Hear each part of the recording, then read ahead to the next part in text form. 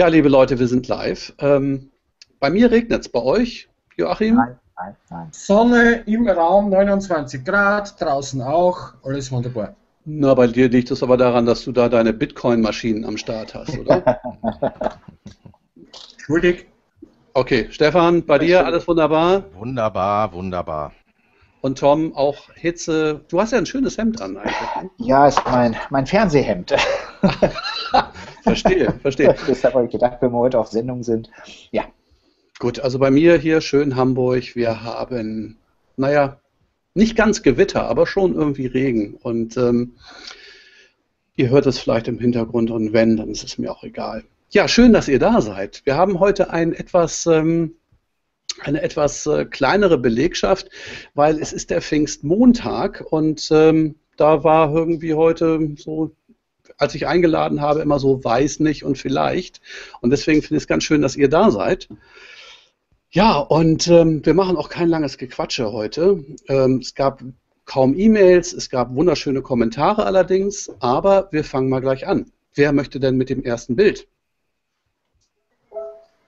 Ja, vorbereitet wie ich immer bin. Na, also Joachim, siehst du wohl. Hat also.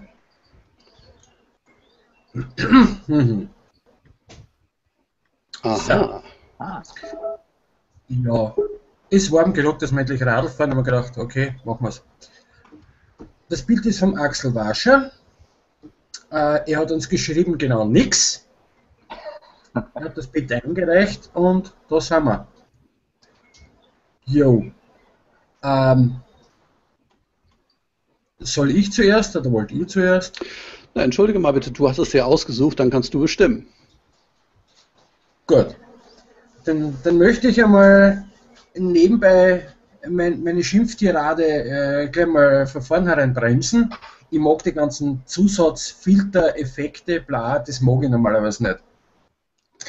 Da ich mit Oha, einem Moment, Moment, Moment. Vertrauen- Dann, dann möchte ich jetzt auch mal, du gehst davon aus, ähm, da ist, ähm, das handelt sich um ein, ein, ein Digitalbild, was irgendwie fett verfremdet oder veraltert wurde. Es weisen einige wenige Dinge darauf hin. Das kann ein Zufall sein, aber es kann auch so sein, dass es künstlich hinzugefügt wurde. Okay. Äh, ich habe mit, mit dem Blumenkraft, mit dem Jochen, habe ich da schon im Hintergrund ein bisschen herumdiskutiert. Ich mag es nicht, er steht drauf. Bitte. Nur an dem Bild passt dann schon wieder so einigermaßen. Das, das Fahrrad wirkt mir persönlich etwas zu neu dafür, wenn ich jetzt ehrlich sein soll. Ansonsten könnte das Bild schon aus den 40ern, 30ern oder so auch sein, das stimmt schon. aber nicht mit dem Zeichen auf dem Radweg unten. Bitte? Nicht mit dem Oh. Zeichen auf dem Radweg unten. Oh, schade. in Sicherheit noch nicht. Das, das kommt dann noch dazu, ja. Na, äh, wo das Bild mit den Filtern ein paar Probleme hat, ist zum Beispiel hier der Kratzer Mhm. und der große Kratzer links unten, Mhm. die schauen so pixelig aus. Also ich würde mal sagen, diese vertikalen Kratzer, ne? Ähm, Ja. die so das ganze Bild irgendwie dominieren. Da hätte ich ja, und jetzt schlagt mich wieder tot, weil ich irgendwie mit den Formaten irgendwie nicht so gut bin, aber so 6 mal 7 hätte man ja denken können, das ist durch einen Filmtransport irgendwie ähm, wäre, könnte passiert sein. Ne? Mhm. Das Ja. ist jetzt allerdings ein Hochformatbild und normalerweise, und da mag ich auch wieder schief liegen, obwohl, naja, 6 mal 7 geht auch waagerecht, ne? ähm, könnte ich mir vorstellen, dass diese Kratzer dadurch kommen, vielleicht. Und ähm, ohne dass du jetzt da irgendwie diesen fatalistischen Gedanken reinbringst, das könnte alles ein Fake sein, hätte ich gedacht, naja Gott, das ist so ein richtig schön altes ähm, 6x7 ähm, Bild, schwarz-weiß. Da ist auch einiges an Flecken irgendwie drin, was man normalerweise auch so von solchen Bildern kennt, irgendwie nicht nachbearbeitet und hurra. Gut, okay, jetzt lass uns bitte nicht darüber reden, dass rechts unten da so, ein, so eine Signatur drin ist und die ist hundertprozentig äh, digital reingekommen. Aber für mich schaut das jetzt erstmal wie ein ganz originäres Schwarz-Weiß Negativ-Scan-Bild aus von Anno Tuck. Ja, äh, wenn wir jetzt die, die, die, die Filterproblemchen nicht alle angehen, können wir uns, glaube ich, viel Zeit sparen, was das da angeht. Wäre ja ganz nett, wenn das irgendwie ein abgerundetes Bild in sich ergeben würde mit den, mit den ganzen Kunstfiltern. Nur wenn dann der Filter schon so, so richtig in die neue moderne Zeit verweist, indem eben die Kratzer äh, pixelig werden, weil scheinbar der Filter ein Problem hat oder die Kratzer halt so sind, keine Ahnung, das passt nicht. Ich weiß nicht, ob ihr das sehen könnt, aber eins zu eins betrachtet ist das eine einzige Treppe, eine weiße da. Ja, Beweise, Sherlock, komm.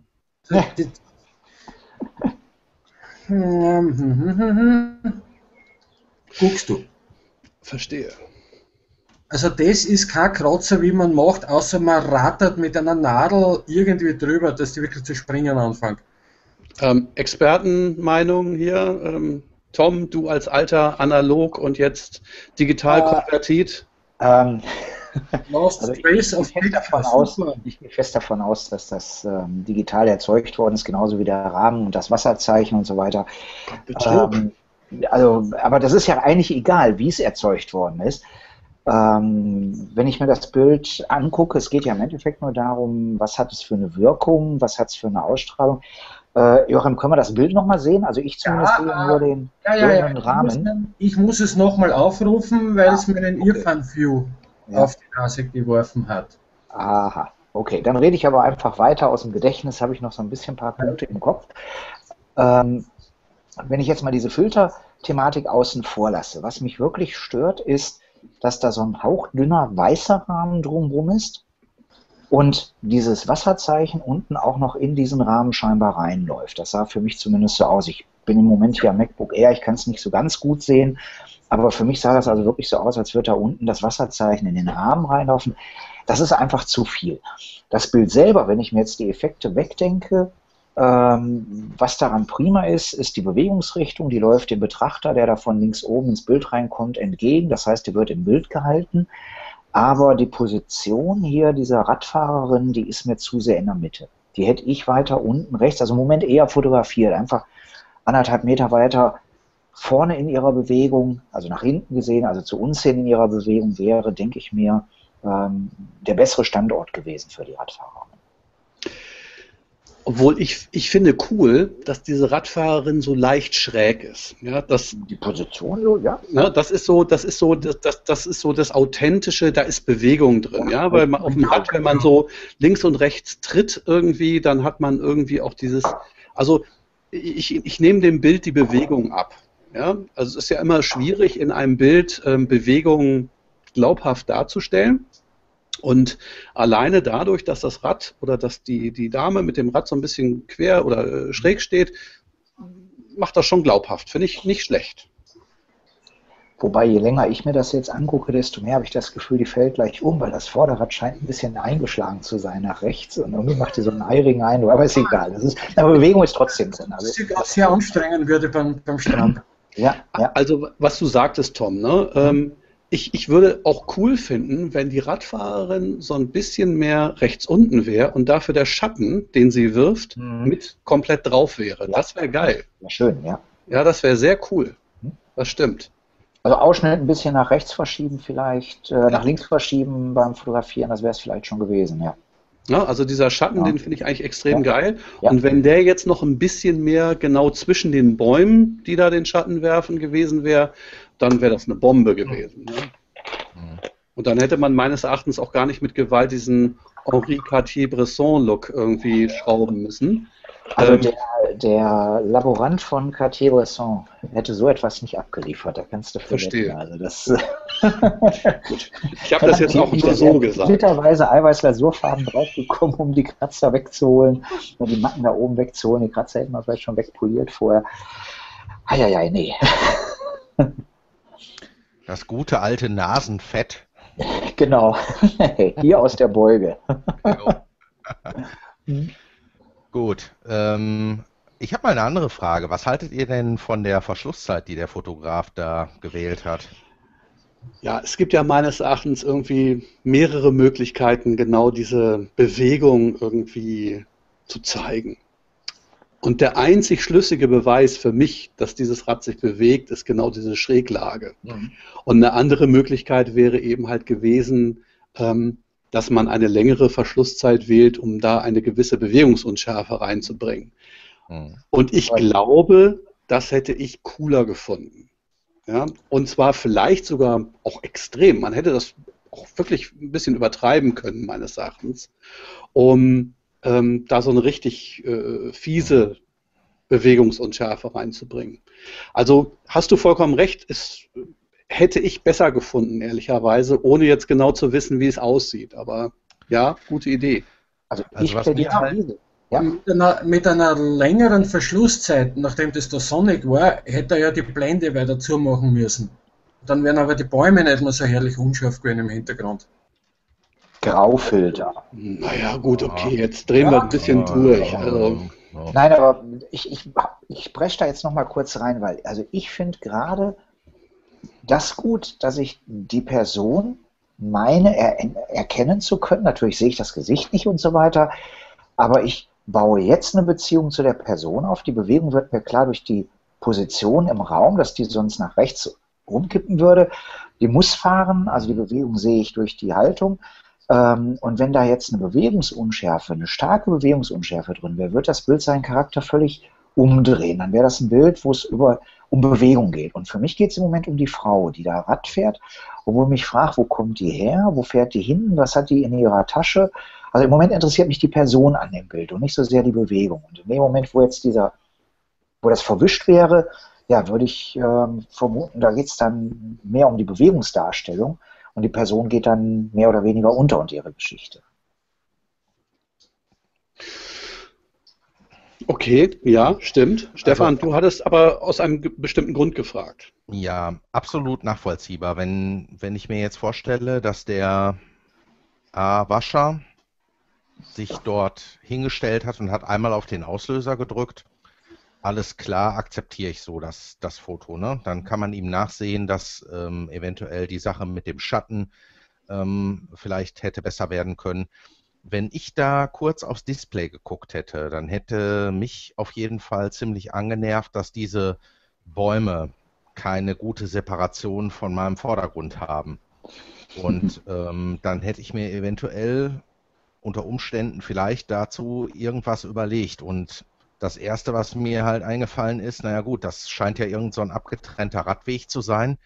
Wenn da jetzt nicht nur ein Radfahrer lang fährt, dann wartet man einfach auf den nächsten und versucht es eben nochmal.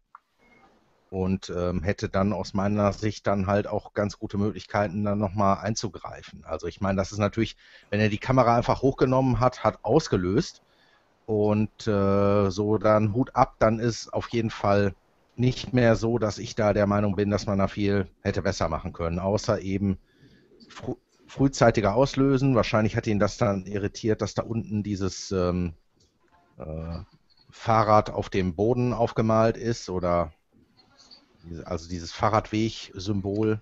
ähm, hat gewartet, bis die Radfahrerin darunter ist. Ich nehme mal an, das ist eine Frau. Und ähm, ja, also entweder fährt sie gegen die Einbahn oder irgendwer hat das Symbol verkehrt herum aufgemalt. okay, kann ich genau ausstellen, ja. Na, jetzt werden wir aber picky hier, ja. ne? Wir sollen die Bilder ja genau anschauen, ne? Ja, das ist schon in Ordnung. Ja. Also wie gesagt, ich, ich würde es gerne sehen, den, den Bildausschnitt ein wenig zu verschieben. Ich hätte gerne die Radfahrerin äh, rechts unten gehabt. Dafür das Ziel und diese ganzen Diagonalen, die da durchs Bild laufen, hinten so einigermaßen bis zu Ende, hätte ich besser gefunden. Ähm, ach ja, gut, jetzt, dass wir den, den das Bild entlarvt haben als ähm, äh, heftig nachbearbeitet und mit äh, äh, ja, Filtern zugeschmissen, finde ich jetzt nicht so schlimm, weil das sehen wir, das sehen andere nicht. Ja, und ähm, das finde ich für das Bild eigentlich ganz okay, weil ich muss ganz ehrlich sagen, also mein erster Gedanke war, und ähm, ähm, das mag jetzt irgendwie auch völlig übertrieben sein, ist so diese, diese äh, Vivian Meyer-Geschichte. Ja, so, das kam mir so in den Kopf, so, ah, so eine Parkszene von Arno Tuck. Und das ist es offensichtlich nicht, aber ich bin schön reingelegt worden. Wunderbar. Dann sogar, wenn das ein, ein, neues Bild ist, weil es jetzt aufgenommen worden ist, wenn das eine Kamera von 1928 ist, schaut das Bild wahrscheinlich auch nichts besser aus. Gegen das sage ich ja gar nichts. Also weder gegen die Vignetten noch gegen die, die komischen Flecken, die da oben sind, oder die Striche, die durchgehen. Was mir am, am Filter da stört, sind eigentlich nur die zwei deutlichen Vorder da, die zwei weißen weil die eben so, so, so abgestuft sind, so, so typisch digital. Ja, nee, vor allen Dingen, das, die sind unglaubwürdig. Die, das sind die einzig unglaubwürdigen, weil ich sag mal, die, die Vertikalen, die sind total glaubwürdig. Ja, die sind okay. Ja, wenn du ähm, die Kamera nimmst, die sowieso schon ein paar tausend Fotos gemacht hat, ein paar analoge, ein paar tausend Fotos, und dementsprechend oft herumgeworfen und weiterverkauft worden ist, da wären keine besseren Bilder rauskommen, gar keine Frage. Da hast du eine Kratzer dann drauf am Negativ. Na gut. Und der Rahmen, naja. Ja, gut, der Rahmen. Also Rahmen sind sowieso so wieder so ein Thema. Ich glaube, wenn wir Michael heute Abend hier hätten, hätten wir äh, eine längere Diskussion darüber. Ähm, also Rahmen, ähm, und das ist meine ganz persönliche Meinung, Rahmen nicht digital, sondern nur analog. Und das heißt also mit Pappe und schön schräg geschnittenem Passepartout und wunderbar. Ja, ich bin ein Freund von ähm, ja wirklich echten Rahmen, die dann aber auch Hardware-Rahmen sind und keine äh, äh, Software-Rahmen, die man da in das Bild reinmalt. Finde ich normalerweise nicht schön. Außer die sind ganz groß und ganz fett und dann schreibt man noch irgendwas drauf, weil man diesen Effekt irgendwie haben will. aber sonst finde ich Rahmen in der Regel ja doof und gerade die, die man so softwaremäßig mitbekommt bei diesen Standardprogrammen, ah, die haben immer so eine Chance, recht billig auszusehen. Schade. Gut, aber ansonsten, naja, das kann man so machen. Also finde ich schon. Nur die ähm, Bildnachbearbeitung, ja gut, ich bin da auch schön drauf reingefallen, aber trotzdem im Nachhinein finde ich sie leider ein bisschen unglaubwürdig. Und schon, äh, nur damit es gesagt wird, wenn man auf Rahmen steht, äh, von mir aus, ich habe kein Problem damit, aber das Bild an sich hat schon einen Rahmen durch die Vignetten. Und hm. da habe ich nochmal eine weiße Linie rum. Da könnte man dann gleich in der Mitte noch ein Fadenkreuz auch noch hinmalen, damit der Betrachter sicher hinfindet, was von Einen dicken, dicken, fetten Pfeil. Ja, hier gucken. Oder Stempel. Hier. Genau. Ja. Wunderbar. Joachim, vielen Dank. Ähm, so, ihr Lieben. Wer hat das nächste Bild? Stefan ah, hat schon, sehr flott. Hat schon, aber ähm, willst du mal eben kurz den Chat nachlesen und da vielleicht noch was zu sagen, bevor wir jetzt weitergehen? Was genau, das Wut oder was? Wut, genau, zum Beispiel. Ja, die Fotografien von Vivian Meyer erzählen Geschichten. Ähm, sie zeigen das Leben. Ähm, Stefan, ich weiß nicht ganz genau, worauf du hinaus willst. Gib mir eine kleine Hilfe. Gut, ich glaube, dass der ähm, Kollege, der dort äh, sich zu Wort gemeldet hat, ähm, nicht ganz mit deinem, dieses Bild erinnerte mich an eine Vivian Meyer Geschichte. Deshalb machen wir jetzt mal hier was ordentlich aus dem Leben. Dieses Bild heißt nämlich ähm, Lebensfreude. Der König der Überleitung. Mhm. So, ähm, ich komme gerade von der Insel und ähm, da gab es ganz viel Lavendel und dieses hier sind Lavendelpflanzen. Ich bin zwar kein, kein Botaniker, aber das steht in dem Hilfetext drin, den uns freundlicherweise die, jetzt muss ich nach dem richtigen Fenster suchen, ähm, Maria Herzger zugesandt hat. Ähm, die ist also eingeladen worden von einem Herrn Carbon Compound, der treibt ja überall rum und lädt Leute ein und so etwas. und ähm, ja, sie hat da so ein paar Sachen, die, die sie ähm, wünscht.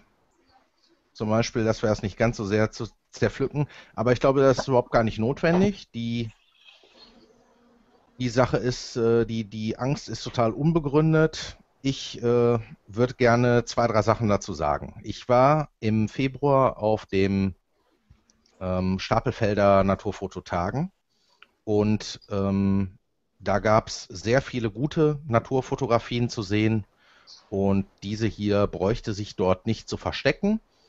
Ähm, es ist eine saubere, klare Bildsprache. Die Hummel, meinte sie, wäre das. Kann ich auch nur so hinnehmen. Ich hätte jetzt gesagt eine Biene, aber gut, auch dort ähm, lasse ich mich gerne überzeugen, dass es eine Hummel ist. Äh, hängt an diesem Lavendel und äh, erntet da offensichtlich Nektar. Man kann sogar, glaube ich, noch sehen, dass hier irgend so ein, so ein Rüsselchen, so in diesem Bereich, mhm. dort äh, hin und her zittert und wackelt. Und äh, ja, das Ganze ist in einer sehr sonnigen Umgebung aufgenommen. Und ähm, ich habe jetzt mal schon in die EXIF-Daten reingeguckt mit einer 250. Sekunde. Ich ähm, ja, finde, es ist im Vordergrund scharf und man sieht die, die nötige Unschärfe im Hintergrund, dass man noch erkennt, dass da noch mehr als ein Lavendelstängelchen ist und finde es total gut gelungen. Drittelregel angewendet. Und jetzt würde ich euch da einfach mal das übergeben wollen. Ja, also ich, ich muss auch sagen, das ist total super. Also ich, ich sehe ganz oft, dass Bilder gemacht werden, die so mit Gewalt, mit der äh, Tiefenschärfe spielen, um das so möglichst so mega bouquetmäßig unscharf zu machen, dass man da gar nichts mehr sieht. Und das ist eben halt auch verkehrt. Und was du eben halt auch gerade richtig sagtest, das finde ich hier ganz besonders schön, dass man immer noch diese Umgebung sehr gut sieht. Das ist also ein gleichmäßiges Feld. Trotz alledem ist der Vordergrund, da wo die Hummel drauf sitzt, sowas von knacke scharf. Aber der Hintergrund ist eben halt erkennbar unscharf. Und das finde ich auch eine Kunst, dass man nicht alles in einer totalen Unschärfe völlig absaufen lässt. Könnte man sich hier jetzt auch vorstellen, dass es irgendwie eine nette Farbgeschichte irgendwo gäbe. Aber man kann schon sehr gut noch sehen, dass es eben halt so eine gleichförmige äh, äh, so ein gleichförmiger Hintergrund ist, dass es eben halt so ein Lavendelfeld ist. Und das finde ich sehr, sehr cool, wenn das gelungen ist. Ich, finde gerade bei diesen sehr extremen Nahaufnahmen, wo der Hintergrund noch zu sehen ist, finde ich das für mich immer ein so wichtiges Kriterium, dass es nicht wahllos scharf ist, sondern man sieht eben halt noch, um was es sich handelt. Und da muss man schon auch die richtige Blende wählen zu, um, um das irgendwie vernünftig hinzubekommen.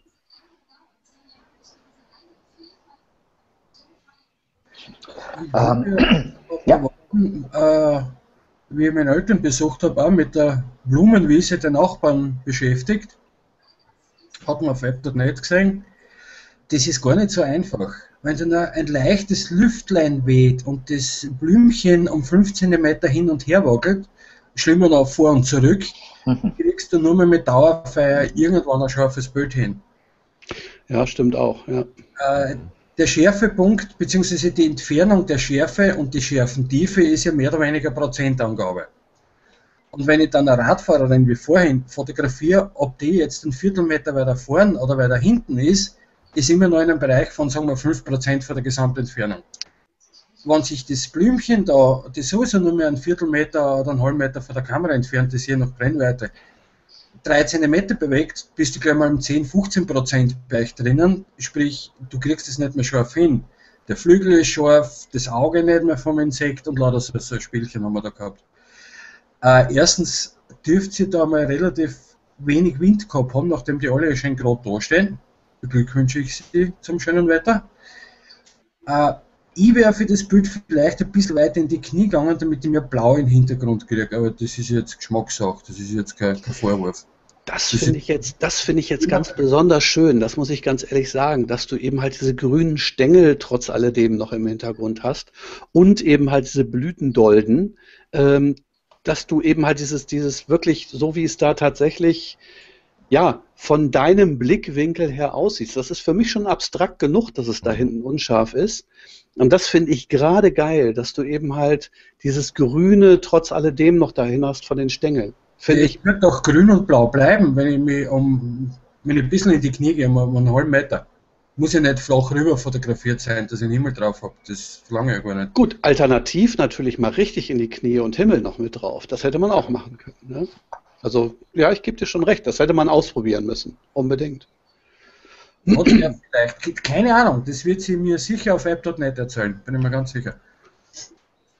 Da habe ich die Dame aufgegabelt. Also normalerweise, ach, ach, okay. normalerweise sind wir ja nicht so, was so technische Geschichten angeht. Aber ich glaube, bei diesem Bild ist es ganz besonders wichtig, dass die Hummel und diese vordere Blütendolde, wo die Hummel drauf sitzt, knackescharf sind. Hm. Ja, sonst wäre das Bild nicht so gut. Ja, oder das mal ganz vorsichtig zu sagen. Also ich finde, nur deswegen wirkt das Bild überhaupt so wahnsinnig gut, weil das wirklich richtig knallescharf ist. Also zum Aufhängen hätte ich da noch eine einzige weitere Nachbearbeitung noch gemacht. Rechts unten sieht man so einen grünen Verlauf auf einem Stängelchen, wenn nur der Stängel reinschaut. Ja, okay. Das hätte ich weggeklont oder abgeschnitten, einfach die paar Millimeter. Weil irgendwie, wenn man das Bild lang genug anschaut, wenn man vorbeigeht, ist ein schönes Bild und passt schon. Wenn man dann wirklich vor dem Bild steht und sich das drei Minuten lang anschaut, irgendwann sieht man das. Und das ist dann wieder was, was man sieht, aber da nicht. Und der Kopf probiert es dann zu vervollständigen und dann beschäftigt man sich mit irgendwelchen Nebensächlichkeiten, die eigentlich nichts zum Bild beitragen. Sag mal, ähm, hat jemand von euch Erfahrung mit so Makro- oder beziehungsweise Fotografie von, von, von so Insekten so nah dran? Ja, warum? ich könnte mir vorstellen, dass so eine gewisse Fluchtdistanz da irgendwie auch besteht. Ja, ähm, also wenn du da ganz nah rangehst, dann hauen die ja eben halt auch ganz gerne mal ab. Ähm, wie ist denn das? Wie, wie, machst du das? Machst du das wirklich mit Makro dann oder kroppst du viel? Äh, ich habe da am, am, liebsten mein 105 mm Makro mhm. und da stelle ich noch einen Makroring dazwischen. Oha, okay, verstehe. Und wenn ich mich dann, dann habe ich, ja, ich weiß dann, ob die Hummel jung ist und noch Pickel hat oder ob sie schon ausgewachsen ist und ein Bart. Also so weit kommst du dann ran. Nur jetzt hingehen und fotografieren, das kommt auf die Insekten an. Manche interessiert das überhaupt nicht. Käfer zum Beispiel, der sogar wenn es ihn interessieren würde, kommt der nicht so schnell weg. Aber alles, was sich schnell bewegt, wie Bienen oder Hummeln, die von Blüte zu Blüte fliegen oder, oder gewisse Fliegenarten, das hat mit Fluchtdistanz nichts zu tun, das ist sowieso nur ein, zwei Sekunden Bannerblöden. Am, am gescheitesten ist, du kniest dich einfach wohin, wo sowieso Betrieb ist, verhältst dich ruhig, stellst schon mal alles scharf, dass du ja. echt nicht mehr abdrücken musst. Und jetzt, wenn ein Insekt kommt, klack, klack, klack, klack, klack, klack, eine Serie runtergeschossen und gar nicht nachkontrollieren, weil während den ersten dreimal nachkontrollieren kann man die drei tollen Bilder, wo du nicht abgedruckt hast, sondern die Kamera von hinten angeschaut hast. Ganz schlecht. Einfach eine große Compact Flash rein und ein paar hundert Bilder runterschießen und dann löschen gehen. Einfach ja, warten, bis die Viecher kommen, das ist das Einfachste. Ja, der Jochen, ähm, aka Blumenkraft hier im Chat, ähm, schreibt eben halt auch, warten, bis sie von alleine kommen. Ich meine, der muss es wissen. Ich denke, darauf wollte ich hinaus, ja. Also bei dieser Fotografie, da braucht man Zeit. Also in der Regel ist es nicht so, man, man spaziert mit Kindern und Hund irgendwo entlang und zufälligerweise kriegt man so ein Ding irgendwie geschossen. Das ist hochgradig selten. In der Regel braucht das viel Geduld. Und dann setzt man sich irgendwo hin und wartet, ähm, bis genau auf die Blüte, auf die man es abgesehen hat, oder auf die drei, vier, die man gerade so im Fokus hat, äh, da was passiert und dann Feuer. Also das ist ja jetzt kein Makro, sondern eine Nahaufnahme. Ja. Das dürfte was? Ja, hast ja recht, hast ja recht. Und obendrauf ah, ist es noch mit nein, nein, einem nein, Mikro geschossen worden. Ach du ja, liebe Zeit. 105 mm. Ja. Ach du liebe Zeit. Ich möchte dazu nur sagen, mit der Linsen kannst du jederzeit umdrehen und irgendwann fotografieren, der 50 Meter weg ist. Das ist kein Problem. Nur wenn du dann schon auf Makro dein Objektiv umgeschaltet hast und dann vielleicht einen Zwischenring drinnen hast, dann darfst du zwischen 10 cm und ein Dreiviertel Meter Abstand fotografieren, alles andere ist unscharf, mehr geht nicht. Also wenn, sollte man sich wirklich darauf konzentrieren. Ich mache heute Nahaufnahmen und Makros. Und bei meiner Ausrüstung zum Beispiel kann ich nicht einmal so weit scharf stellen, wie ich mit der Hand wegkomme, wenn ich voll aufmagaziniert habe. Und dann muss ich halt damit leben, dass ich das Vogel, das über mich drüber fliegt, nicht fotografieren kann oder das Kind, was gerade in die Pfütze reingefallen ist.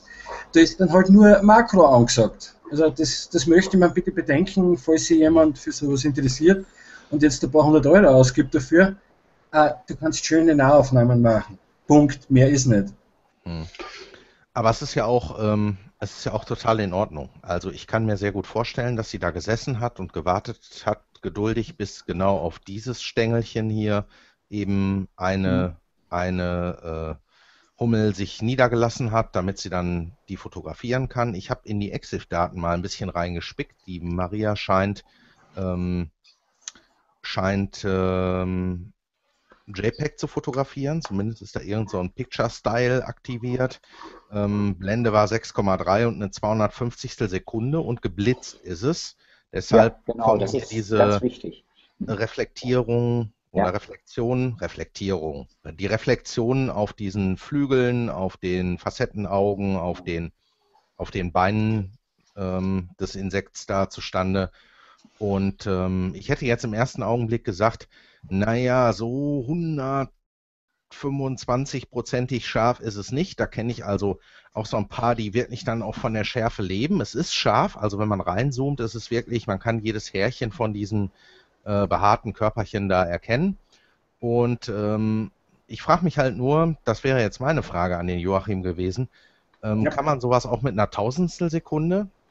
Weil ich kann mich daran erinnern, ich habe mal einmal bei uns, äh, wir haben auch so eine, ähm, so ein Ensemble mit so diversen Kräutern da auf dem auf der Terrasse stehen und ich habe da schon mal einen ganzen Nachmittag vorgehockt und habe irgendwie, ich weiß nicht, 16 Gigabyte Ausschuss produziert. Da war kein einziges scharfes Bild dabei. Entweder haben sich diese Lavendelstängel oder sonstigen Sachen da hin und her bewegt oder die, die Bienen waren schon wieder weg, bevor ich auf den Auslöser gedrückt hatte und, und allerhand so Sachen.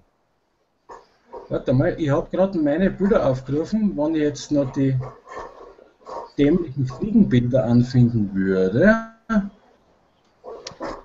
Vielleicht, äh, während, bevor du suchst, sag mal, geht das mit einer Tausendstel und Blitz oder ist das Schwachsinn, was ich da gerade denke? Äh, das geht schon. Das kommt auf der Kamera an. Meine kann von 8000 und Blitz synchronisieren. Äh, das heißt, der Blitz fährt dann full aus, der, der kocht da über da oben. Dann geht erst die Blenden, also dann belichtet erst das Gehäuse und während der Blitz erleuchtet, geht es schon wieder zu, damit mhm. das Ja alles drauf ist. Dass du nur ein paar Prozent von dem verfügbaren Licht vom Blitz dann drauf hast, ist wieder was anderes. Sprich, das funktioniert nur auf kurze Distanzen, ist eigentlich eh eher für Makro und ähnliche Sachen gerichtet. Hm. Und du hast nicht wirklich viel Licht zur Verfügung. Nur zum Aufhellen reicht es allemal. Also, das funktioniert schon. Nur sollte es dann vielleicht nicht auf ISO 50 oder ISO 100 unterwegs sein, das ist kontraproduktiv. ISO 400 wäre schon mal nicht. Zu viel ist auch wieder blöd, dann verlierst du Details durchs Rauschen.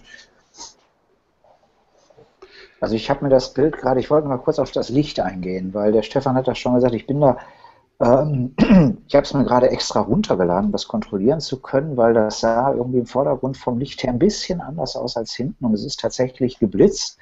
Da ist ein leichter Aufhellblitz drin, der hervorragend eingesetzt ist, das muss ich wirklich sagen, mhm. weil man sieht es eigentlich nicht. Man sieht es ein paar Reflexen und man sieht, dass der Schatten etwas heller ist oder der Körper etwas heller ist, als ich es jetzt erwarten würde, aber die Blüten im Hintergrund, die verlieren kaum an Helligkeit gegenüber dieser im Vordergrund. Das heißt, dieser typische Blitz, Helligkeitsabfall ist nicht drin. Das heißt, sie hat wirklich sehr dezent da reingeblitzt, ist wirklich gut gemacht.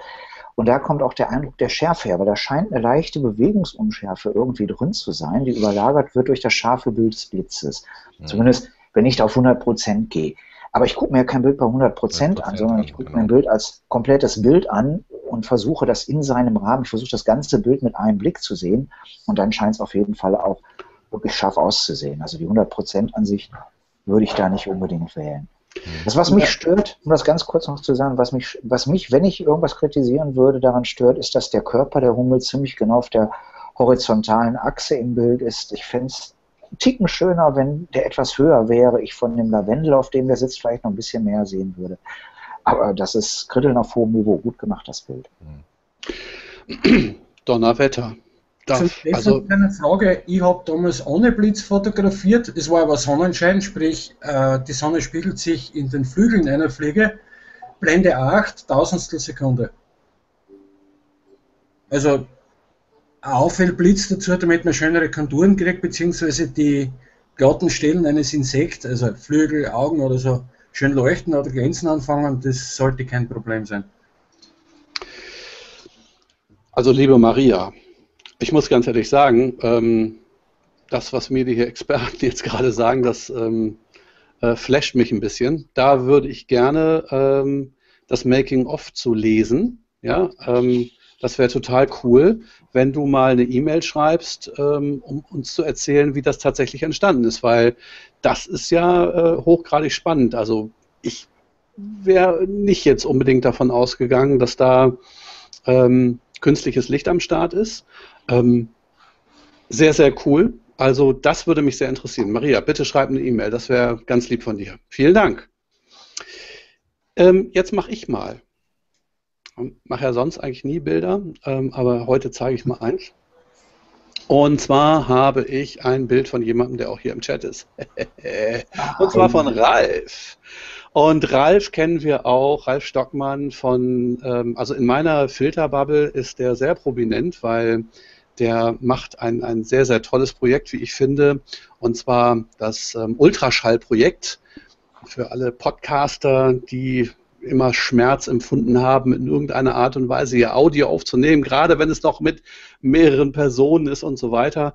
Die hatten da immer einen großen ja, eine große Qual, da eine vernünftige Software zu finden. Und Ralf hat sich irgendwie so in die, ähm, in die Abgründe ähm, bestimmter Lösungen begeben und hat da irgendwie was Tolles gemacht. Ich gehe jetzt nicht im Einzelnen darauf ein, was es ist, aber ich werde es auf jeden Fall verlinken. Und liebe Podcaster, die in irgendeiner Art und Weise ähm, audiozentrisch eine äh, Lösung sucht, das müsst ihr euch unbedingt anschauen. So, der Ralf hat aber heute auch ein Bild geschickt. Er hat sich heute auf äh, ADN gemeldet und äh, hat gefragt, ob er mal ein Bild reinschicken kann. Und ähm, das möchte ich jetzt mal zeigen und ähm, versuche das auf meine Bildschirmfreigabe, zack und Feuer. Ich hoffe, das seht ihr jetzt.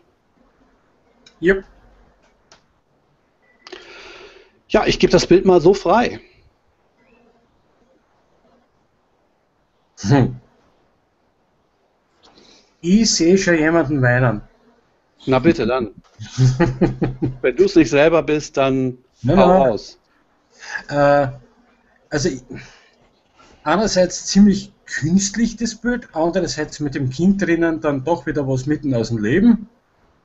Äh, der erste Gedanke war, wenn der jetzt in Gedanken versunken da weiterfährt, wird es einen Schepperer machen und der Papa muss dann trösten kommen. Das war der erste Gedanke, den ich gehabt habe. Durch die geöffneten Türen da links unten. Und dann habe ich erst darauf geschaut, dass das alles irgendwie sehr skurril wirkt mit den Blechkästen. Gefällt mir. Also einfach so Leben mittendrin in der modernen Technik. Bahnhofsbushalle, Banden, irgend sowas in die Richtung wird es sein, vermute jetzt einmal der Flughafen. Die Farben sind ein bisschen sehr, sehr warm, möchte ich mal sagen. Für gewöhnlich sind solche Orte ja eher grob nüchtern gehalten und weniger in so warmen Form gehalten. Ja, ich finde es ja gerade geil, dass diese, ähm, dass diese, ähm, ähm, na, wie nennt man das, diese Schließfächer, dass die golden sind. Mhm. Ja, also das ähm, und eben halt genau so und nicht anders und dass das die ganze Bildstimmung eben halt in diesem mehr roten, warmen Ton ist und das einzig ja konträre im Endeffekt ist der Junge mit der schwarzen Jacke, schwarzen Mütze und dem silbernen äh, Roller. Oder was ist das, ein Roller, Tretroller? Ja, Roller. Und das finde ich eigentlich ähm, alleine nur deswegen schon bemerkenswert. Stimmt, auf dem anderen Monitor ist das goldig. Goldig? Ja, äh, ja Gülden, gelb. Auf dem Laptop schaut es eher grünlich aus. Hm. Gut kalibriert. Defekt. Aha, jetzt kann man das erst lesen, die ganzen Einzelheiten. Ja, das Defekt hatte ich schon vorher gesehen. Sobald da irgendwo was steht, muss man ja automatisiert das lesen. Aber mit den durchsichtigen Fächerchen würde ich sagen, das ist irgendwie ein buntes Glas, ähm, womit sich die verschließen lassen. Und das oh. äh, spricht eigentlich gegen, äh, gegen Flughafen, weil dann oh. würde man ja oh. sofort sehen, dass dort ein Sprengsatz in diesem Dings da drin ist. Das, ähm, ne? Ach, das sehe ich jetzt erst. Diese, diese, diese, diese, ähm, ja, Deckelchen, die sind äh, durchsichtig. Ja, so vier, ah. fünf davon, da kann man erahnen, dass da ein, eine Getränkeflasche ja, cool. direkt hinter der Klappe steht und so. Und ähm, ja, was natürlich trotzdem sehr, sehr schön ist, ist ähm, erstmal der Roller. Da ist irgendwie ja Licht drauf gekommen, weil dieses ganze Rollerchen reflektiert ja das Licht äh, überdimensional deutlich, finde ich. Es wirkt so, als ob direkt von oben die Kästenreihe beleuchtet werden würde und der Weg davor relativ wenig Licht abgelegt. Aber das, das ambiente Licht da im Hintergrund, das, das hat eher was von einem Wohnzimmer und einem Fernseher oder so. Als, ich meine, wie viel Geld muss so eine Institution haben, damit sie ihre Schließfächer Hintergrund beleuchtet? okay, verstehe. Äh, hm. Mich wundert es nicht, dass seine Flughäfen nicht fertig werden. Ah, da kriegen wir gerade von Ralf im Chat einen Hinweis, dass es im Museum Ludwig in Köln aufgenommen worden.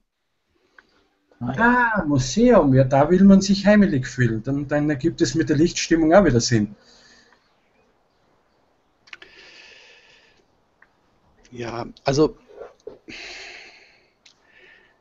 ich will überhaupt nichts an diesem Bild meckern. Überhaupt nichts. Das, also es gibt nur ein, ein Mini-Teil, äh, was kein Gorski draus macht. Und das sind eben halt leider links und rechts die nicht geraden äh, Kanten. Ja, das ist, es stört mich ein Tacken. Ja, aber nur, wenn ich eben halt länger und genauer hinschaue. Ich habe noch nicht mal gesehen, dass diese äh, Kästen durchsichtig sind. Ich habe die als Gold irgendwie angeschaut. Ja, also ähm, pardon me. Ja, also ich gucke da recht dilettantisch drauf. Aber jetzt, wo ich länger hinschaue, das wäre gerade noch geiler gewesen, weil gerade der Fußboden so rund ist. Nicht diese diese ähm, Fliesen, die sind da irgendwie so im gehen offensichtlich da in so einem Kreis weg. Das ist wunderbar. Aber dann wäre es für mich noch umso wichtiger gewesen, dass das gerade ist. Das wäre für mich noch surrealer gewesen. Dieses eingefangene Sein, dieses Jungen in dieser recht geraden Struktur, ähm, hätte ich noch cooler gefunden. Aber das kann man in der Nachbereitung wunderbar machen. Ja, es hat ein bisschen was von, von der Szene von der Matrix, wo der Neo ja. zwischen, zwischen Bahnhof gefangen ist und nicht rauskommt. Also wenn ja. du links dem Bild du rechts wieder rein, so wie er es nicht gesehen hat. Und wenn dieses Defekt da nicht gewesen wäre, ne, da hätte man es hinmachen müssen. Das ist fantastisch. Ja, ja, schön. Gut, der, der, der Jochen im Chat schreibt auch, das stört ihn null und das ist meine schräge Sicht. Das ist auch vollkommen okay. Ja, also finde ich jetzt auch überhaupt nicht wichtig fällt mir nur einfach auf, wenn ich irgendwas zu meckern hätte an diesem Bild, dann ist es genau das. Ja, lächerlich.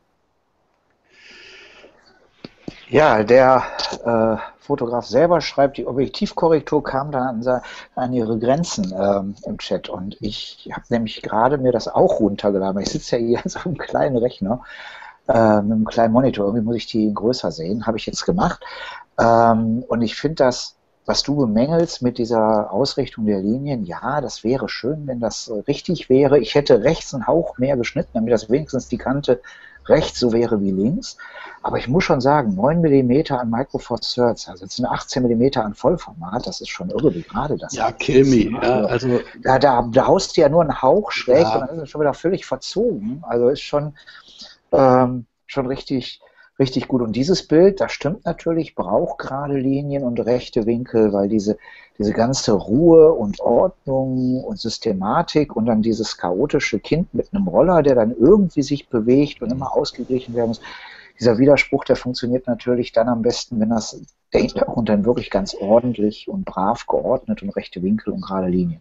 Ja, das meine ich eben halt. Das hätte jetzt in, in Camera beim Shoot hätte das nicht funktioniert, gar keine mhm. Frage, aber das kann man in Photoshop gerade ziehen und dann hätte es eben halt genau, also wie gesagt, das ist so, eine, so, ein, so ein Kinderkack, den ich da jetzt meine. Ähm, aber das ist genau das, diese Ordnung und der Widerspruch der Bewegung und ein, ein Kind, was sowieso immer alles zerstört und kaputt macht und offensichtlich auch schon die beiden offenen Schränke auf dem Gewissen hat. Da oben ähm, ist noch einer, der ist defekt. Da ja, auch noch. Mal, ne? Ja, ja.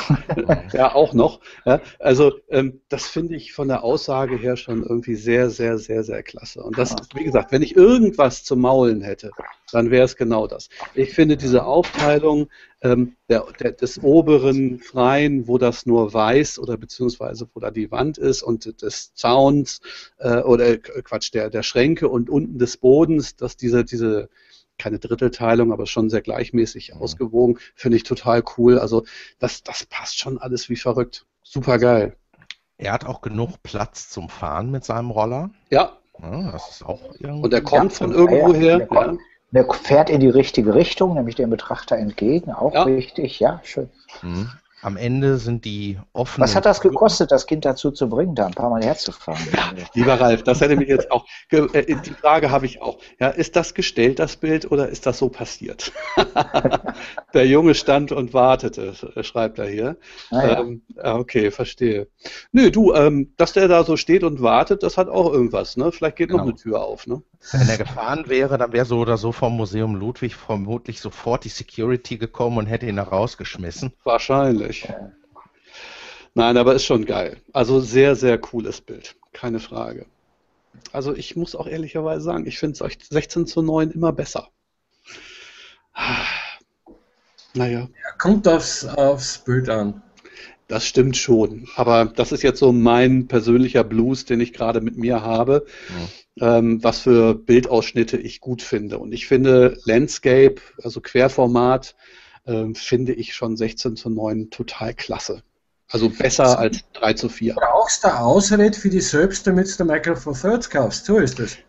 Ich habe eine Micro Four Thirds und ich habe eine äh, D800 Vollfett alles gut. Also ich brauche keine Ausreden für nichts. Okay, passt. Ja, ich habe auch 6x6, ich habe auch 6x7, ich habe alles, ähm, dummerweise.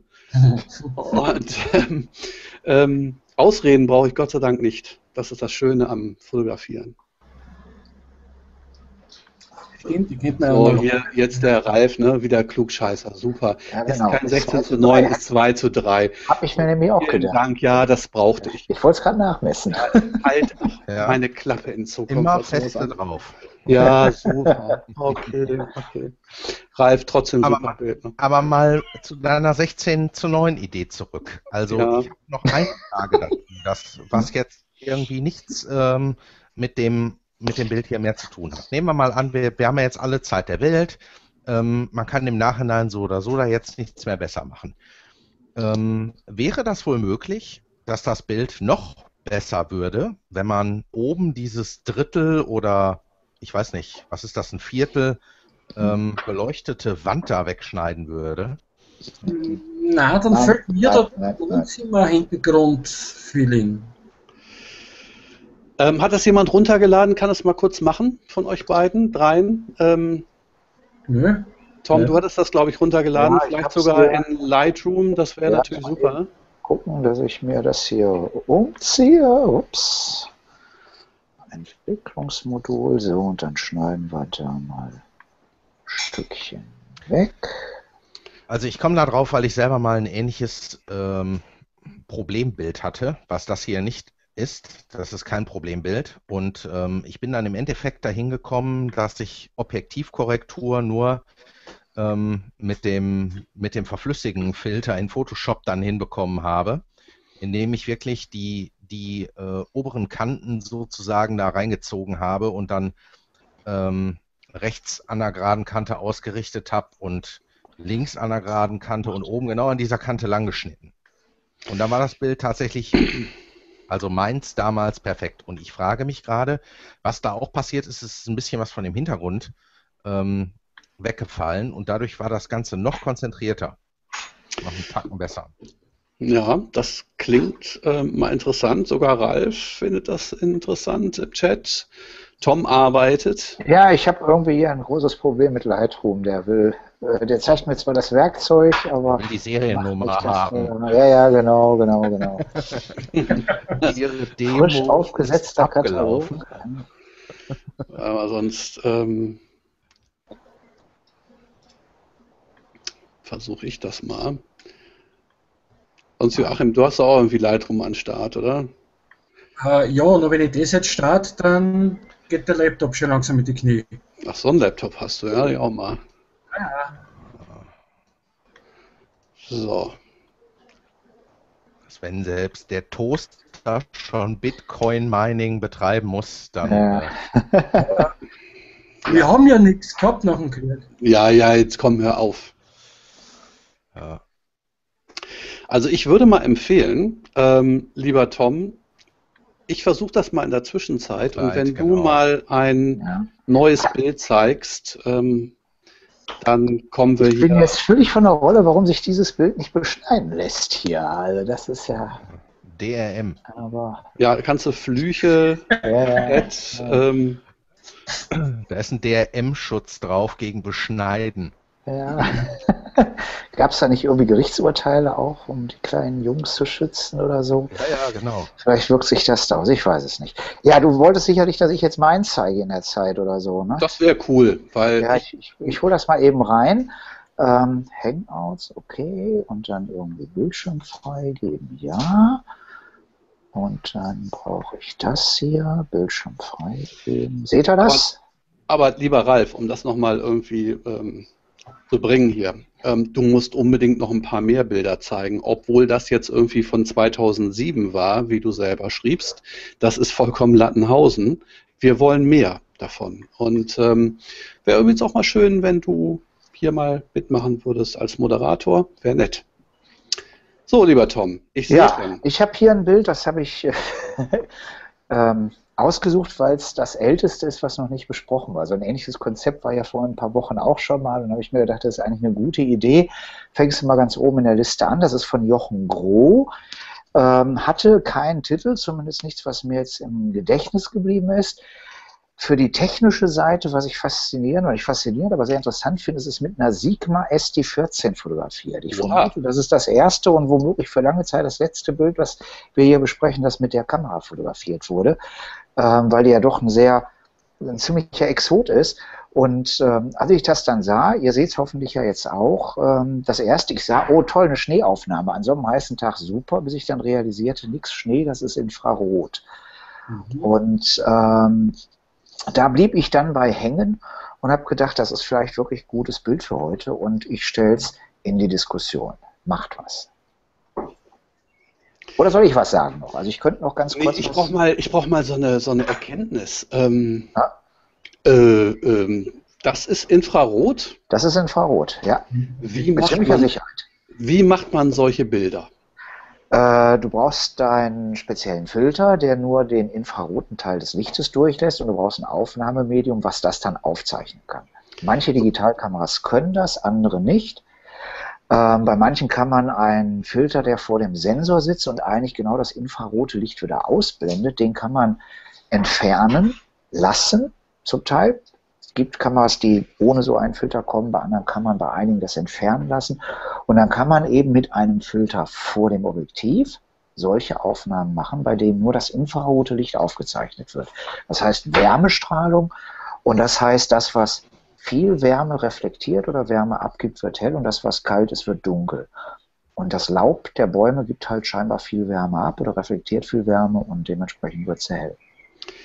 Äh, möchte noch dazu sagen, äh, da geht es nur um das nahe Infrarot, sprich die Mhm. Wellenlängen, die sehr nah am sichtbaren Licht, sprich am echten Ja. Rot sind. Richtige Wärmestrahlung, wer jetzt glaubt, er auf Ebay um 50 Euro einen Infrarotfilter kaufen und dann sein Ja, nee, das wird nichts. reinschauen. Ja. Da funktioniert es nicht. Ja, Moment nochmal. Für mich, noch, noch mal für mich zum Verstehen, weil das ist mir noch nicht hundertprozentig klar, was ihr da erzählt. Ich nehme jetzt meine ganz normale SD14 oder was auch immer, also eine normale Canon, äh, was auch immer, Spiegelreflex, die ich jetzt zu Hause rumliegen habe.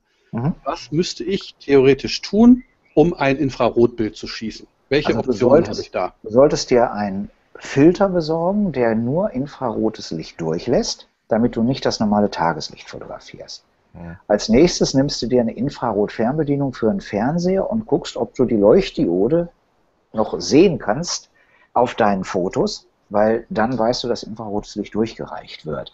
Ansonsten würde das nicht funktionieren, weil vor dem Sensor deiner Kamera ein Filter sein kann, der genau dieses infrarote Licht aussperrt. Auch gut müsste man funktioniert ein Ceranfeld. Ceranfeld, ja, stimmt, könnte man wohl Das auch. nehmen, leuchtet ja rot. Wenn man damit ein Foto mit der Digitalkamera macht, hat man dann leuchtendes Grau oder Violett, je nach Kamera. Ja, Okay, verstehe. Also wer es nur testen will, was die Kamera sieht und was sie nicht sieht. Wenn die Kamera ein leuchtendes rotes Ceranfeld sieht oder eben die Fernbedienung finster bleibt, dann ist der Infrarot-Sperrfilter vorm Ja. Sender viel zu stark. Dann müsste man entfernen lassen. ja.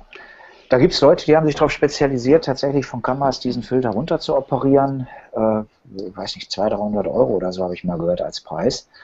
Die 20D von Canon, die war vor vielen Jahren dafür ganz begehrt, die ließ sich wohl ganz gut umbauen. Und äh, wer das ausprobieren will, ohne sich so einen Filter zu kaufen, ein altes Stück unbelichteter und unentwickelter Diafilm. Sollte natürlich Mittelformat oder so sein, damit er groß genug ist, damit er wirklich fürs Objektiv passt. Den kann man quasi davor halten. Der setzt so ein bisschen so einen Infrarotfilter. Damit kann man es mal ausprobieren. Sag mal, und so im, im Nachhinein das Faken irgendwie in Post, ist das irgendwie schwierig? Es gibt, ja, ist Fummelkram und wird nie so richtig echt. Aber das ist schon, schon aufwendig. Es gibt da ein paar Actions für Photoshop, die man sich irgendwie runterladen kann, äh, die vorgeben, das hinzukriegen. Die tauschen dann einfach die Grünanteile im Bild so gegen dieses hell, diese hellen Töne aus und so. Aber ähm, so richtig echt sieht es meiner Meinung nach nicht aus. Eine kleine Hintergrundinformation. Die Laubbäume leuchten deshalb so hell in dem Fre äh, Frequenzbereich vom Licht, damit die Bäume nicht ausdörren während des Sommers. Wenn man jetzt einen reflektieren viel davon, damit sie nicht zu heiß werden und austrocknen. Ja, okay. ja? wenn man jetzt einen Mischwald vor sich hat und den fotografiert, dann sieht man die Nadelgehölze ziemlich dunkel und alles was Laubbäume Ja. hell raus. Ganz schön. einfach, weil der Nadelbaum weniger Oberfläche hat, wo er Feuchtigkeit verlieren kann, kann sich der das leisten, dass seine Nadeln wärmer werden im Sonnenlicht als irgendeine Buche oder Eiche oder sonst was. Äh, wenn man dann seinen eigenen Wald zu Hause, der saftig grün ist, mit so einem Infrarotfilter fotografiert, sieht es aus wie ein typisches, oh Gott, wir werden alle sterben, bald sterben Bild aus den 80ern. Mhm. Gut, also wir halten fest. Ähm, Echt wird es nur mit echten Filter. also, ähm, Infrarot aufgenommen ist Infrarot aufgenommen, alles andere ist doof. Und äh, nee, das ist in Ordnung, weil ähm, es gibt ja andere Dinge, die sind ähnlich. Äh, auch, auch, auch so Polfilter kann man ja auch ganz schlecht nachmachen. Mhm. Ja. Ähm, also insofern, das habe ich jetzt verstanden. So, also was ich natürlich bei diesen äh, Infrarotbildern immer toll finde, ist eben halt diese ja völlige Farbunechtheit. Mhm. Ja, das ist hier ja auch so. Also der Himmel sehr schwarz ähm, und alles, was so grün ist, also komplementär zu Rot, ist immer extrem weiß. Mhm. Und das finde ich schon von der Bildaussage her oder spannend. Ja? Also es gibt ja so diesen Spruch, der total überhaupt nicht stimmt, aber den viele immer sagen, also in Schwarz-Weiß sieht alles gut aus. Ähm, das, das gilt auch so ein bisschen für Infrarot. Ja? Also so Infrarot, Ja, äh, erstmal so ein, so ein, so ein, so ein Hallo-Effekt. So, ui, Ja. Mensch. Ja? Mhm. Und das ist hier auch so. Ja. Trotz alledem, jetzt, jetzt stelle ich mir das Bild mal so vor und das wäre jetzt nicht unbedingt mit diesem Effekt, finde ich das trotzdem gar nicht schlecht, Ja. weil hier sind äh, äh, schöne Linien drin, Ja. also dieser Weg, der in dieses Bild hineinführt, zu diesem Haus hin, dann, dann links dieser sehr opulente Baum, das finde ich eigentlich ganz cool. Und diese Andeutung an Himmel, wo so ein bisschen, bisschen Wolke oder ein bisschen Struktur drin ist, ähm, finde ich gar nicht so ganz schlecht. Mhm. Ja. Also ich finde es vom Aufbau her gut gemacht. Ähm, dieser Bogen des Weges, der sich oben in dem Baum, finde ich, so ein bisschen wiederfindet. Ähm, das Haus, was da rechts steht, die Wolke oben, der, die kleinen Büsche vor dem Haus, alles prima. Was mich stört, ist, dass da so ein Ast von dem Haus ziemlich, von dem Baum ziemlich in der Mitte runterkommt und Ton in Ton in den Hintergrund ja. übergeht und da keine Trennung mehr ist. Und da müsste man dann als Fotograf vielleicht ein Stück in die Hocke gehen, damit dann der Ast oberhalb dieser, dieses Landschaftsstücks aufhört irgendwie. Das war womöglich durch unterschiedliche Grüntöne in der Situation gar nicht erkennbar. In der Situation hat sich das womöglich getrennt, dass der Hintergrund dunkler war und der Baum, äh, das Baumlaub heller oder umgekehrt. Aber hier geht das jetzt so ineinander über und das ist das, was mich jetzt wirklich stört an dem Bild, sodass das so diffus da hinten ineinander, mhm. ineinander übergeht und das noch genau in der Mitte. Die stört mir erst, seit du das gesagt hast. Bös. Ja. Aber ich finde, dass dieser ganze Baum auf der linken Seite irgendwie eine Silhouette von einem Pferd oder so etwas hat. Deshalb finde ich ihn besonders toll. ja, stimmt. Noch schöner gewesen wäre, wenn der wirklich nicht da hinten ähm, sozusagen von den Hügelchen da hinten die Büsche abweiden würde. Mhm. Überdimensionale Pferdchen, was man da ja. vielleicht erkennen kann mit ein bisschen Fantasie. Ich finde total elegant gelöst, wie er praktisch die Diagonale, die von links unten nach rechts oben, wenn man sich die jetzt mal mhm. denkt, ist in der oberen Hälfte ist dieser Baum und in der unteren Hälfte ist das Haus. Und wenn ich bei der unteren Hälfte bleibe, dann werde ich wieder durch diese Linien da reingeführt zu dem Haus, was offensichtlich irgendwie ein wichtiger Bestandteil ist. Und er hat auf dem Acker gestanden und hat sich zunutze gemacht, dass dann sozusagen die Linien da zu dem Haus hinführen, weil dahinter geht der eigentliche Weg links rum, während der Acker irgendwie rechts rum eine Linie zieht. Ja. Das wäre, glaube ich, total verwirrend gewesen und nicht so, so schön, wenn er da einfach auf dem We Weg gewesen wäre. Mhm. So, und ähm, meine Infraroterfahrung, ich habe das ja auch schon mal ausprobiert mit so einer Kamera, da kommt irgend so eine rosafarbene, ja, irgend so ein Mist da raus und da muss man halt noch, um das, damit das dann so aussieht, ähm, noch ein bisschen bearbeiten. Ja, bearbeiten. Ah, Veto, Veto. ähm, da gibt es verschiedene Frequenzen, die die Infrarotfilter durchlassen. Da gibt es nicht einen Infrarotfilter, der Infrarotfilter heißt, sondern da gibt es im 680. Ja, ich habe einen 720er gehabt und da war da irgend so eine cyanfarbene Rotze und, und äh, noch Kamerasensor und Interpretation durch einen Kameracomputer und dem davorliegenden gekauften Infrarotfilter hast du dann verschiedenste Effekte. Also nur weil das bei mir in, in rosarot türkis rauskommt, heißt das nicht, dass das bei dir nicht vielleicht dann ein, ein relatives Schwarz-Weiß wird.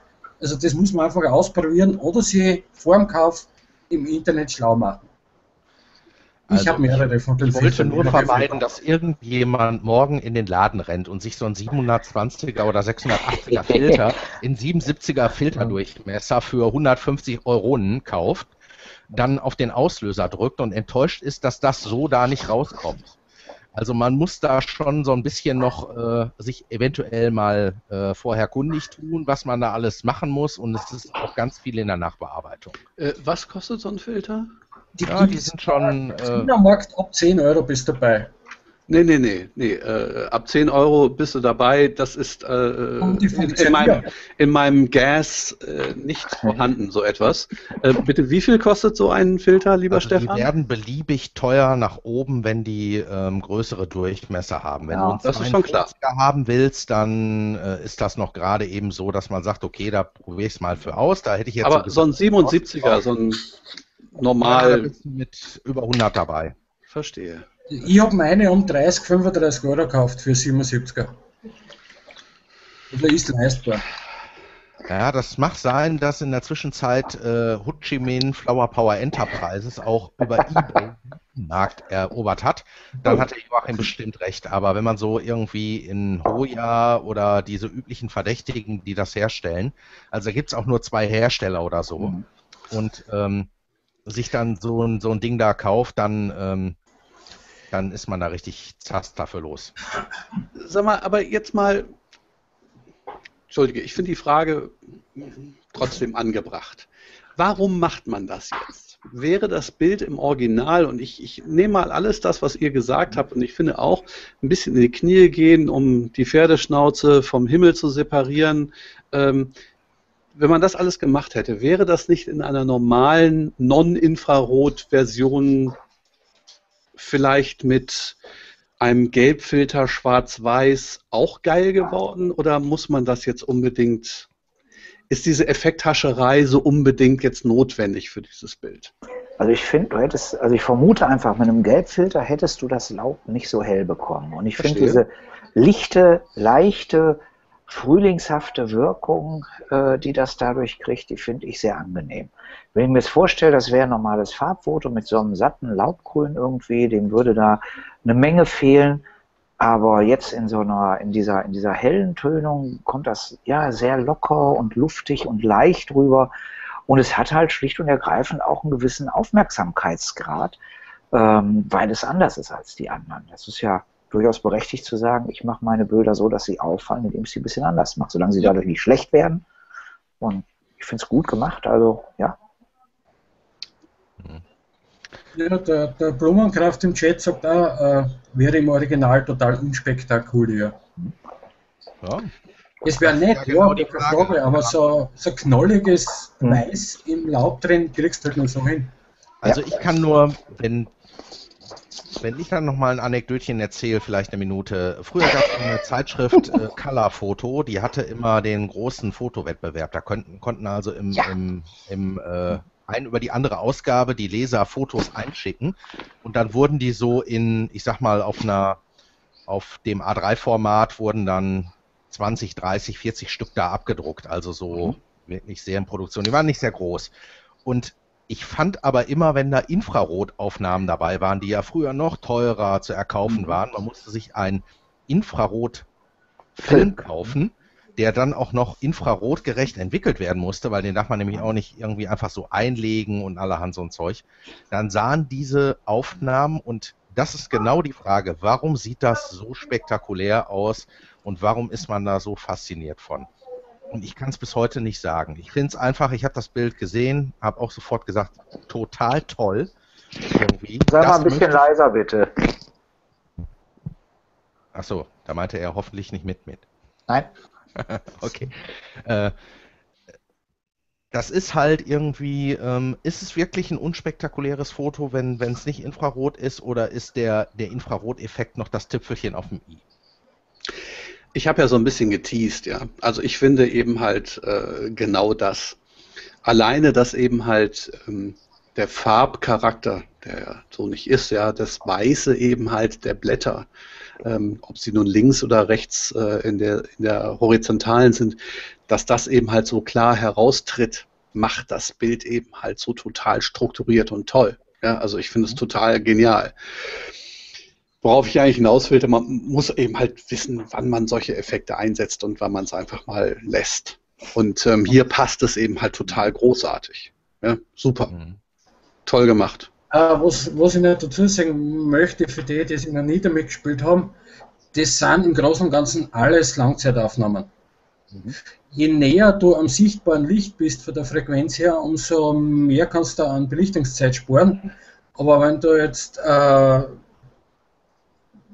einen, Filter hast, der schon ungefähr das Bild produziert, was wir da sehen, reden wir da wahrscheinlich von 5 Sekunden oder 10 Sekunden Aufnahmezeit, wenn du keine Sonne hast. Moment. Ähm, das möchte ich nochmal erklärt bekommen.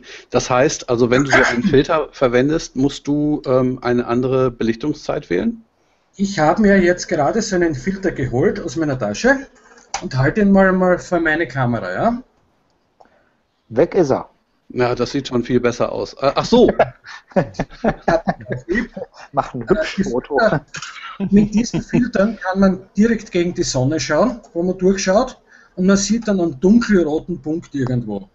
Nur damit man so okay. eine Ahnung kriegt, was Das heißt, das ist eigentlich ein Graufilter vom Effekt her. Äh, sehr sogar, nämlich eher so ein ND viel. ND viel. Nicht 100, sondern ND ganz viel. Äh, ich kann mich erinnern, ich habe irgendwann einmal ein Bächlein im Wald fotografiert und das war, glaube ich, eine Minute Belichtungszeit. An einem sonnigen Tag im Wald. Na gut, das hat natürlich auch wieder einen besonderen Effekt. Solche Bilder hatten wir übrigens ganz selten. Ja? Also ähm, fließende Bäche würden wir gern mal sehen als äh, Bilder, hatten wir noch nie. Hint, hint. Ähm, ja, nee, okay, cool. Hast du, das war mir nicht klar. Also wie gesagt, das ist für mich so vollkommenes Neuland. Ich habe ähm, äh, mit einem Infrarotfilter oder Infrarotfotografie habe ich noch nie gemacht. Insofern frage ich so viele doofe Fragen. Ja, super. Ja, je nach Frequenz kriegst du dann halt Bilder, die fürchterlich Clownkotze sind und fürchterlich bunt. Du kannst dann daraus was machen oder einfach in Schwarz-Weiß umwandeln. Das sind die, die noch relativ nah am sichtbaren Licht sind. Okay. Und dann welche hast, die ganz weit weg sind. Äh, das ist 850 Nanometer, glaube ich, in dem Bereich. Dann brauchst du gar nicht mehr viel was mit Schwarz-Weiß machen. Da kommt nur mehr Schwarz-Weiß raus, bis auf ein paar leicht eingefärbte Flecken. Also vor dem Kauf für die totalen Neulinge einfach im Internet Google Fotosuche bemühen oder mal schauen, was da an verschiedenen Effekten so rauskommt. Okay, ja, cooler Tipp. Super, vielen Dank. Ja, lieber Ralf, ich habe auch versucht, dein Bild runterzuladen in Lightroom jetzt irgendwie noch ein bisschen zu beschneiden. Das ist mir nicht gelungen. Ich weiß Ach. nicht, du musst irgendwie ähm, ist ja interessant, ging bei mir auch nicht. Ja, nee, der, der ist ja auch äh, ein Herr Regierungsrat. Vielleicht hat er da irgendwie jetzt mittlerweile besondere Schutzgeschichten äh, am Start, die es mhm. uns nicht erlaubt. Ähm, deine Bilder irgendwie, ja, also irgendwie hat das nicht geklappt. Das ist bestimmt mein Unvermögen. Das tut mir leid. Aber Ralf, vielleicht hast du ja Bock, das Bild nochmal zu nehmen und zu bearbeiten und nochmal wieder reinzuschicken. Das wäre cool. Ähm, ansonsten ja, freuen wir uns über Einsendungen von euren Bildern. Ah, ich hab's, ich hab's beschnitten. Ich hey, ho, ha, Tom, jetzt, Moment, Achtung. Ja, ich weiß nicht, wie es geklappt ja, hat, aber es hat ähm, geklappt. Die nachfolgenden Sendungen die, verschieben ähm, sich. Ja, verschieben sich. Unbestimmt. Ja, den Bildschirm freigeben so. und Bildschirm freigeben und äh, so. Ich habe hier oben noch einen Rest gelassen. Ihr seht's? Ja, es kommt. Ja, jetzt haben wir es. So, ich habe es jetzt hier jetzt mal ganz eng gemacht. Ja, das ist auch cool. Das ist auch sehr cool. Der Junge hat im Prinzip mehr Strecke zum Fahren. So, ja, ne? ja also das stimmt. Prozentual schon. gesehen ist das Bild jetzt einfach mehr Fläche nach links. Aber ich fand es vorher schön mit diesem Verlauf da oben drin. Der ist jetzt weg und ich glaube, ich will den Verlauf wieder haben. Ja, aber so, so ist mehr Pano. Ne? Das ja. ist schon, das ist schon irgendwie. Äh, ich, ich finde das ja so eng schon fast besser. Das nee, das nicht. Ja, also das ich würde den Fußboden lassen. Ja. Den Fußboden würde ich auf jeden Fall lassen. Ja, das hat schon auch viel Schönes, muss ich ehrlich sagen. Joachim wehrt sich vehement. Ja, ich, ich mag die Grundbeleuchtung. Ich finde die Leuchtturm da oben auch total schön. Also, ist das nicht schön, dass wir alle irgendwie eine unter, unterschiedliche Meinung haben dürfen? Stefan? Toll. Und da kommt keiner für ins Gefängnis. Ja, ist das nicht noch geil? Nicht, noch nicht. Naja, nun gut, ich meine, Amazon hat ja jetzt irgendwie auch irgendwie äh, für sich gemeint, dass sie irgendwie ähm, ein Patent irgendwie auf eine bestimmte Lichtstimmung mhm. irgendwie feilen dürfen. Ja wenn das noch so weitergeht, vielleicht dürfen wir auch unseren Podcast hier nicht mehr machen. Aber bis dahin bleiben wir euch auf jeden Fall irgendwie immer, jede Woche am Montag irgendwie äh, gehen wir euch auf die Sendung. Und ähm, ja, ähm, bis dahin wünsche ich euch allen eine schöne Woche. Schön, dass ihr wieder dabei wart. Und ähm, schickt uns Bilder, bitte. Wir möchten gerne, ähm, dass ihr uns noch weiter Bilder schickt an die bildbeurteilung.de-kontakt, da könnt ihr sie einsenden. Und bis dahin wünschen wir euch alle eine schöne Woche. Bis dahin. Ciao, ciao. Tschüss. Ciao. Tschüss.